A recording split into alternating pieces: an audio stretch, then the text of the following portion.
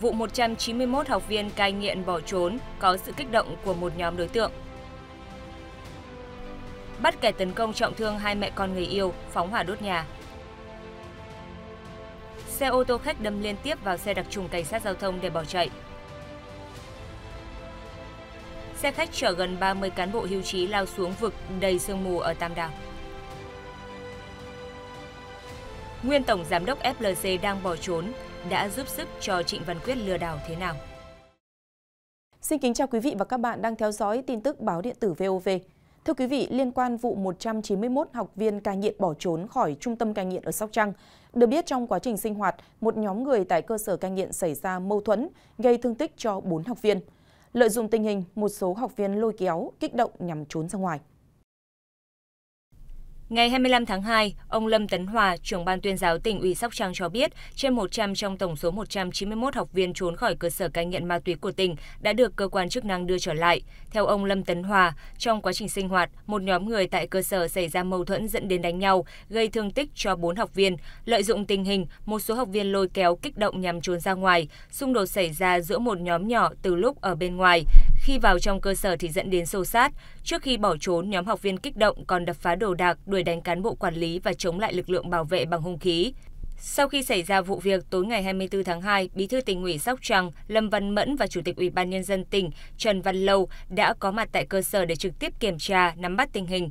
Tiếp đó, ngày 25 tháng 2, Thường trực tỉnh ủy Sóc Trăng đã tổ chức cuộc họp với các cơ quan đơn vị có liên quan để xem xét, đánh giá tình hình, xác định nguyên nhân và bàn phương án giải pháp chỉ đạo sớm khắc phục hậu quả. Đại diện cơ sở cai nghiện ma túy tỉnh Sóc Trăng cho biết, vụ bỏ trốn đồng loạt của 191 học viên xuất phát từ trưa ngày 24 tháng 2. Lúc này, nhóm học viên 20 người xảy ra mâu thuẫn, dẫn đến đánh nhau. Sau đó, cơ quan công an mời nhóm đối tượng này lên làm việc, nhưng họ không chấp hành. Đến 18 giờ cùng ngày, hàng chục học viên phá cửa phòng phòng, mang hung khí đến đập phá một số phòng quản lý, phá khóa cổng chạy ra ngoài, tàn theo những con đường nhỏ, ruộng lúa bỏ trốn. Những người này lợi dụng lúc lộn xộn cũng bỏ trốn theo. Thời điểm xảy ra vụ việc, trong cơ sở có 419 học viên, đa số là nam.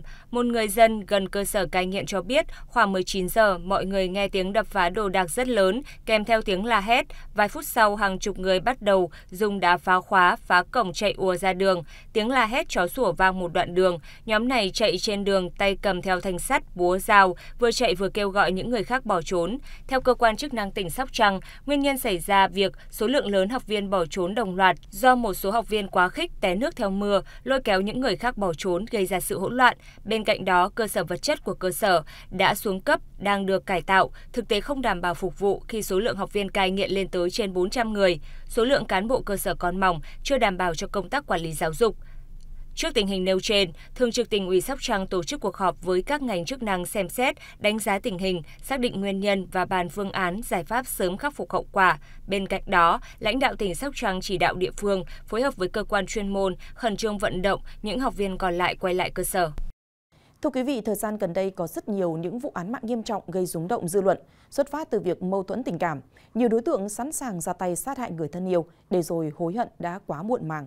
Mới đây, Ủy ban Nhân dân xã Thượng Lộc, huyện Can Lộc, Hà Tĩnh xác nhận lực lượng chức năng đang điều tra làm rõ vụ việc nam thanh niên tấn công trọng thương hai mẹ con người yêu rồi phóng hỏa đốt nhà. Trước đó vào sáng 24 tháng 2, Bùi Hoài Nam sinh năm 1993, ngụ xã Trung Lộc, huyện Can Lộc, đi xe máy đến nhà bạn gái NTL sinh năm 1998, xã Thượng Lộc, huyện Can Lộc để nói chuyện tình cảm. Tại đây Nam và chị L xảy ra mâu thuẫn cái vã. Sau khi lời qua tiếng lại, Nam dùng hung khí tấn công trọng thương chị L và mẹ chị L. Gây án xong, Nam dùng xăng đã chuẩn bị sẵn, phóng hỏa đốt nhà chị L rồi bỏ trốn khỏi hiện trường. Phát hiện sự việc, người dân đã đưa hai mẹ con chị L đi cấp cứu, đồng thời hỗ trợ dập lửa. Tuy nhiên do nhà chứa nhiều đồ đạc dễ cháy, nên chỉ trong ít phút, đám cháy bùng phát dữ dội. Đến 11 giờ cùng ngày, lực lượng chức năng đã bắt được Bùi Hoài Nam khi đang lẩn trốn tại trang trại ở xã Thượng Lộc, huyện Can Lộc. Mới đây, lực lượng cảnh sát giao thông tỉnh Lạng Sơn đang làm nhiệm vụ trên tuyến đường quốc lộ 1A.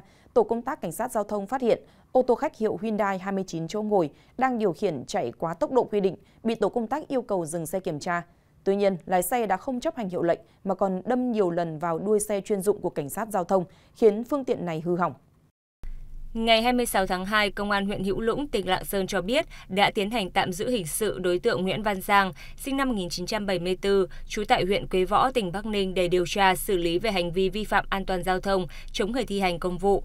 Trước đó, vào khoảng 13 giờ ngày 25 tháng 2, trên tuyến đường quốc lộ 1A, tổ công tác cảnh sát giao thông Công an tỉnh Lạng Sơn phát hiện ô tô khách hiệu Hyundai 29 chỗ do Nguyễn Văn Giang điều khiển chạy quá tốc độ quy định.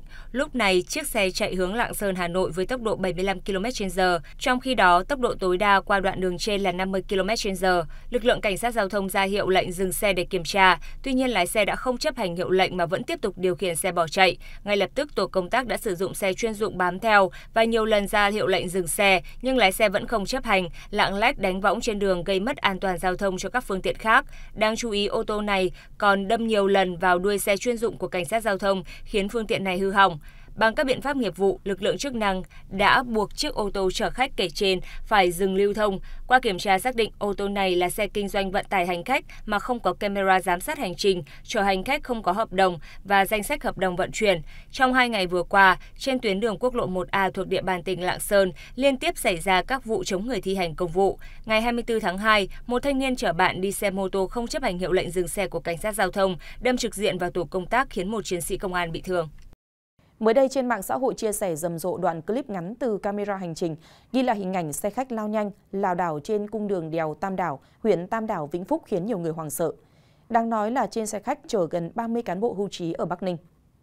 Người trên xe có camera hành trình cho rằng xe khách bị mất lái hoặc mất phanh. Lúc này khu vực Tam Đảo sương mù dày đặc, tầm nhìn hạn chế.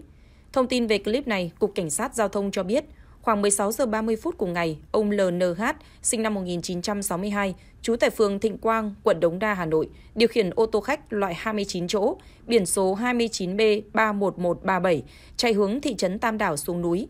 Trên xe có 29 người bao gồm cả tài xế.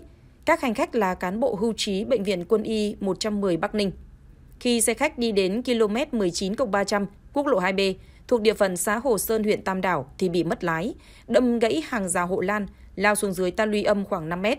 Rất may xe khách bị chặn lại bởi cây thông lớn. Vụ tai nạn khiến 7 người trên xe bị choáng, được đưa đến trung tâm y tế huyện Tam Đảo và bệnh viện quân y 109 kiểm tra. Không có hành khách bị thương tích nặng. Kết quả kiểm tra tài xế không có nồng độ cồn và ma túy. Theo đại diện Cục Cảnh sát Giao thông, xe khách 29 chỗ ngồi trên có phù hiệu hợp đồng, còn hạn kiểm định đến ngày 24 tháng 7 năm 2024. Với vai trò Tổng Giám đốc FLC kiêm Chủ tịch Hội đồng Quản trị Công ty Cổ phần Xây dựng Faros, bị can Doãn Văn Phương đã chỉ đạo thành viên Hội đồng Quản trị, Ban Tổng Giám đốc và các nhân viên thuộc Faros ban hành nghị quyết về việc tăng vốn điều lệ, lập hồ sơ góp vốn khống nhằm mục đích giúp Trịnh Văn Quyết bán cổ phiếu chiếm đoạt hơn 3.620 tỷ đồng của nhà đầu tư trên thị trường chứng khoán.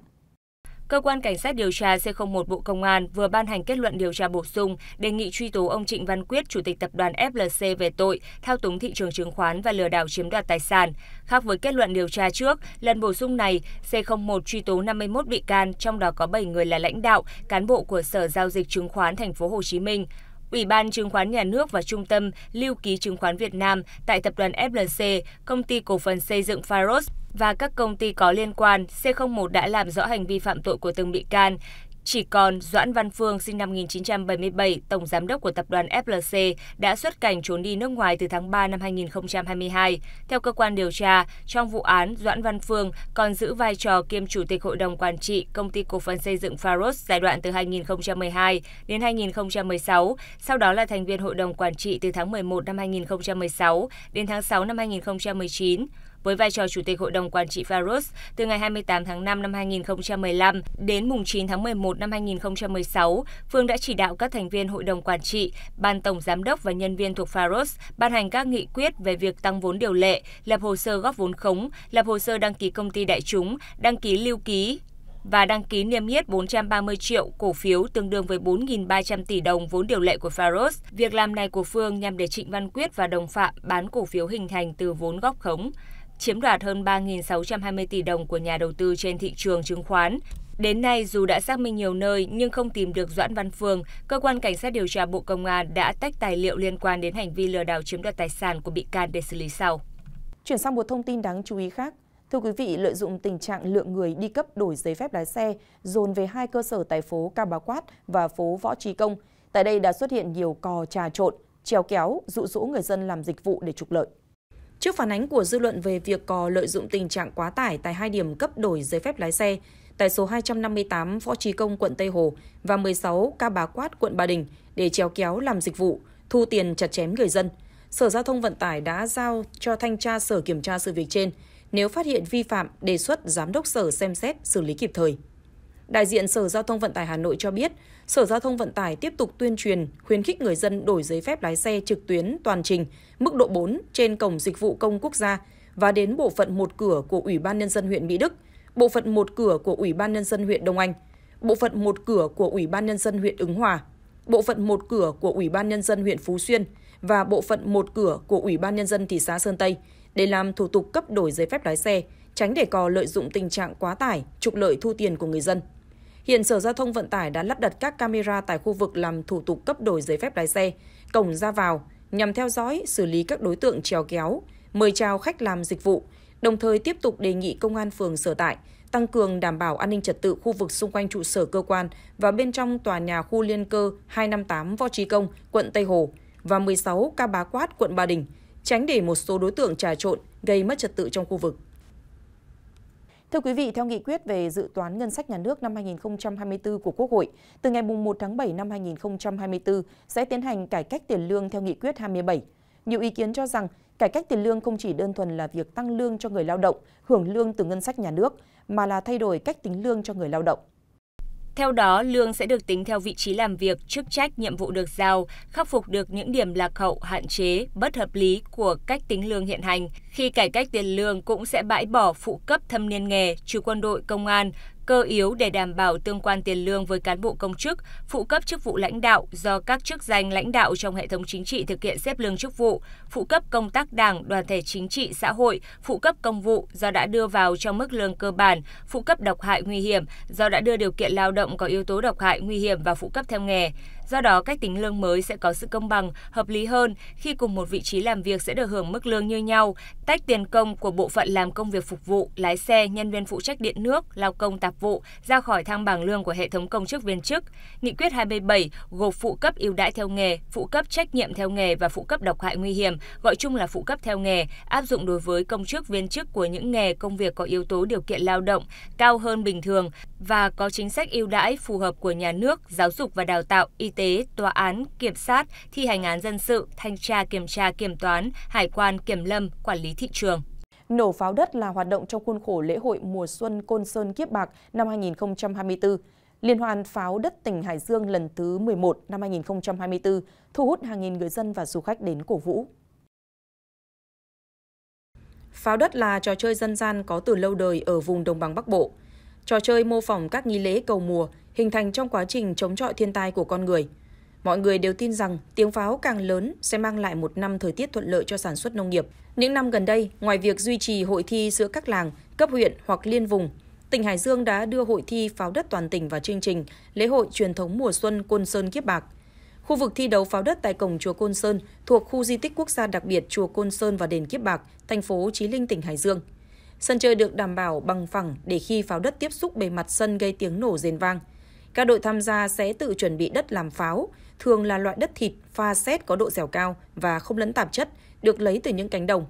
Sau đó nguyên liệu được sơ chế theo bí quyết riêng, đảm bảo có độ dẻo mịn, không dính tay khi làm pháo. Thành tích được tính bằng khoảng cách giữa hai đầu manh pháo, phần viền ngoài của pháo sau khi bung ra. Pháo đất gieo bị xịt, không nổ hoặc có tiếng nổ nhưng manh pháo không văng ra, manh pháo có văng nhưng bị đứt đoạn đều sẽ không được tính. Quý vị khán giả vừa theo dõi chương trình trên kênh YouTube Báo điện tử VOV. Nếu yêu thích chương trình, xin mời quý vị ấn like và đăng ký kênh, truy cập vào địa chỉ vov.vn để theo dõi những tin tức thời sự cập nhật mới nhất của chúng tôi. Xin kính chào tạm biệt và hẹn gặp lại.